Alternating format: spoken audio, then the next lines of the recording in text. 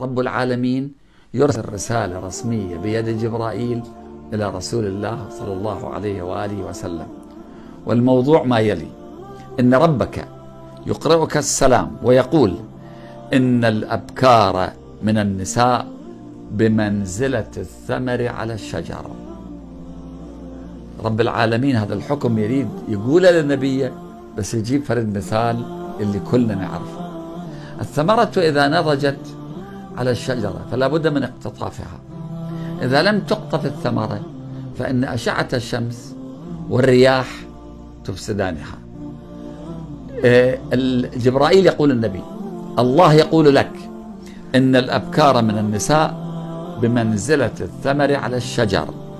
فإذا أينع الثمر أينع ونضج فلا دواء له إلا اجتناؤه اجتباؤه لا بد من اختياره ولا بد من قطفه. وإلا إذا أن هذه الثمرة ما اقتطفت في الوقت المناسب بعد النضج أفسدته الشمس. يعني الشمس تفسد هذه الثمرة. ونثر وغيرته الرياح ونثرتها. الرياح راح تنثر هذه الفاكهة وتسقط على الأرض وتفسد.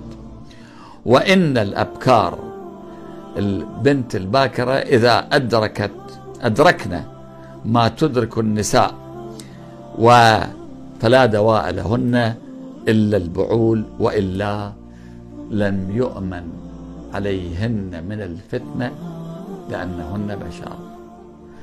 تترك بنتك نضجت ترغب في الأمومة ترغب في الجنس ترغب في الارتباط برجل وأنت لا تهيئ لها الطريق الصحيح ولا تبين لها بعد فترة تكتشف أنها عبر الإنترنت اختار الزوج غير المناسب لنفسها وتتمرد عليك وكذلك الأولاد طبعا. كذلك الأولاد. وقلنا أن آه، المسارعة إلى تزويج الشباب هي من حقوق الأولاد.